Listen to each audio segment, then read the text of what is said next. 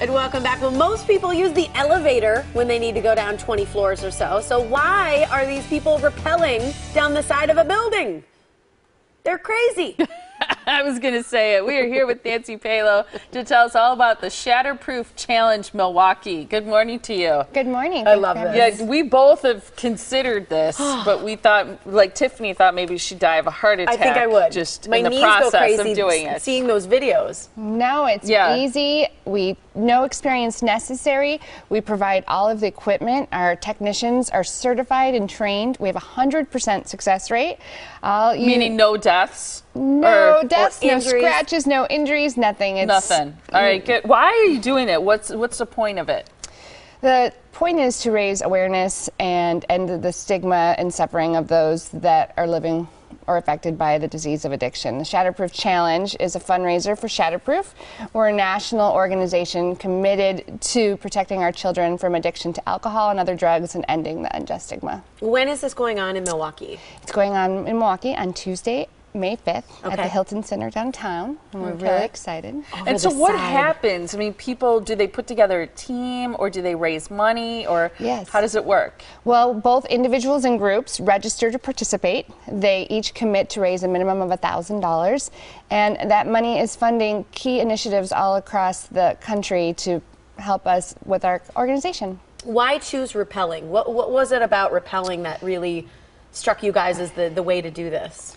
Addiction is the third largest killer in the United States behind heart disease and cancer. And no one has been paying attention to the fact that over 370 people a day are dying. And we needed to make a splash when we came into the um, space and say, and rappelling does that. Rappelling gets people to talk about it. And the more people that we can get talking about it, the closer we're going to get to reaching our goals. Um, as it relates to um, addiction, what what in in with this this group and your mission, what is it that what's the key component of helping someone break the cycle?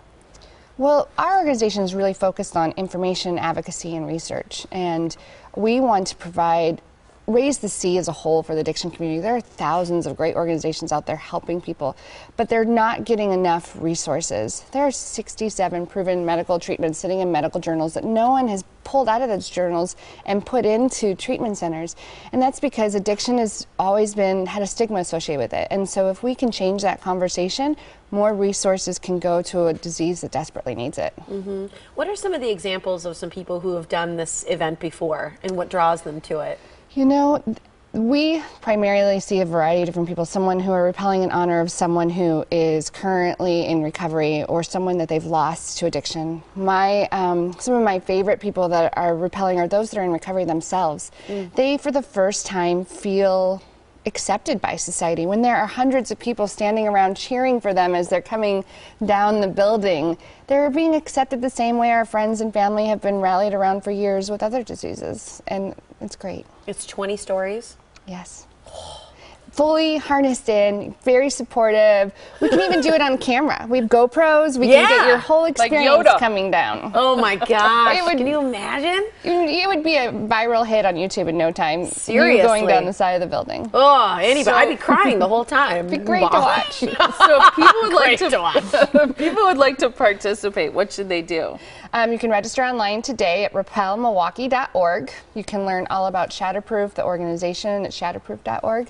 And we would love to have as many people come out. We're looking for rappellers, volunteers, Mm. spectators. We'll be there all day at the corner outside of the Hilton, Milwaukee. Because I would think some people need a little extra time at the top before they lean over. Yes. It's like gonna, you, it's not something you can just be like go. You know, you gotta sometimes have And a little bit of time. The best volunteers. I've done it three times, and it was Really? scary every time. Are you afraid of heights at all? Yes, the first time I didn't look down. The second time I looked down and was even more scared.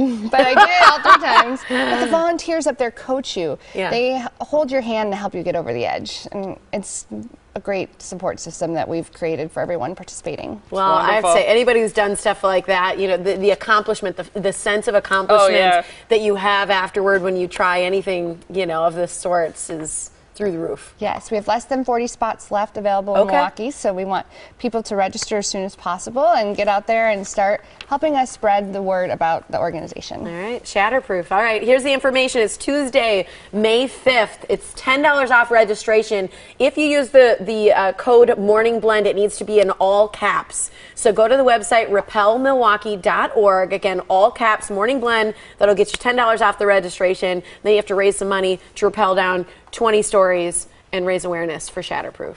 Great stuff. Great. Nice to meet you. Thank you so much. Yes. We'll be